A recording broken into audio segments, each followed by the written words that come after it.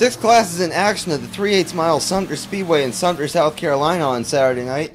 The action delayed for a few hours by a pop up thunderstorm. The storm leaves a large mess, but all mains get in as scheduled. Sumter's Dalton Hodge takes his orange 91 car to victory lane in Extreme 4. Over in Super Street, Cayce's Drew Sheely drives his Casey Farmers Market number 7 to victory. In Stock V8, it's the yellow 57 of Terrell Holloway getting the win. The 15 of DJ Caraway gets the win in Stock 4, and Sumter's Robbie Disher drives his 41 car to victory in Street Stock. The Southeastern Crate Association's Topless Tour rounded out the night.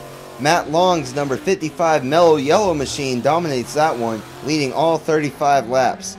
The action at Sumter Speedway continues next Saturday night when the Speedway hosts the Brian Prescott Super Street Memorial Race. Reporting in Sumter, South Carolina, I'm Will Volk.